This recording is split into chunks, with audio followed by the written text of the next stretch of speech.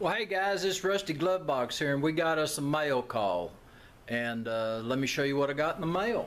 What we got, we got us a license plate. But that's a little different looking license plate than we normally see. This came from England, from a real good guy, 64 Woodsmoke. Uh, if y'all want to watch a good channel that uh, he does a lot of work on the farm, plowing, uh, raising uh, different types of grain. He just got through harvesting uh, a barley crop. Y'all be sure to check out his channel. He is really one that enjoys a good Massey Ferguson tractor. Uh, but let me show you what I may do here. I was just kind of thinking, how about right there?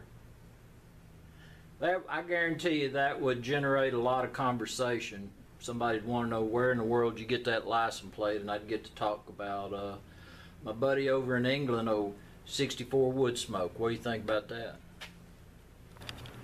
But another option is I can always put it on the wall. So uh, I've just kind of got to figure out what I'm going to do. I may end up just putting it on the wall, but I just hadn't decided yet. So anyway, guys, y'all be sure and check out 64 Woodsmoke.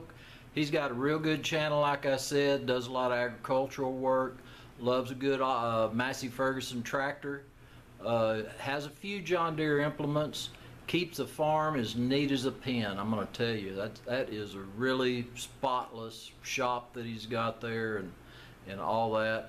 So I really urge you to go on out and check his channel. I'll be sure and put a link down below. So anyway, this is Rusty Glovebox. Thanks for watching, and I'm out of here.